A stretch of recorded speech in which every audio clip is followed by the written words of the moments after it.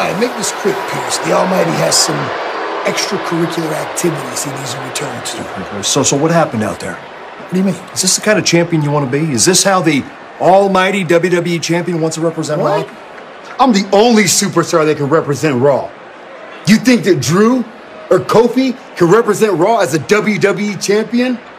I was trying to help you out, Adam. Help me out. Help you out. Yeah, okay, we'll see how much longer that lasts. Because as I'm sure you know, I've already sanctioned a rematch next week between Drew and Kofi. I like it. Yeah, me too. You'll, you like it, but you won't like this.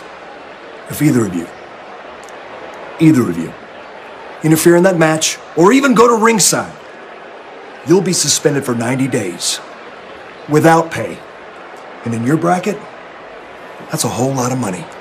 The hell you right, talking save it about? for Hell in a Cell. Save it for Hell in a Cell. Hell in a Cell. Hell in a Cell.